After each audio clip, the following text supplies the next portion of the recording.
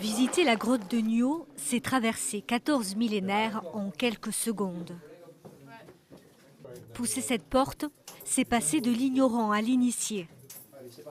Ça, ça fait partie par exemple de notre préhistorien local et, international Claude, qui parle de chamanisme avec des animaux qui sortent des parois. Cet animal, il est vu dans la paroi parce qu'il est à moitié dedans et à moitié dehors. Il est dans la phase de passage.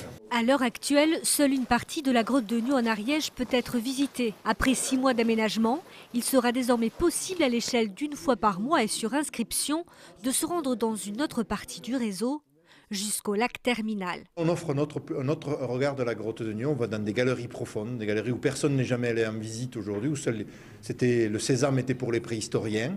Là, tout le monde va pouvoir, sur réservation, venir dans ces réseaux pour voir un autre art préhistorique que cet art que l'on a pu voir à travers les livres d'histoire ou de préhistoire. Seulement une dizaine de personnes par visite est autorisée à cause de la fragilité des dessins. Compte environ 3 heures de marche, prix de cette visite 35 euros.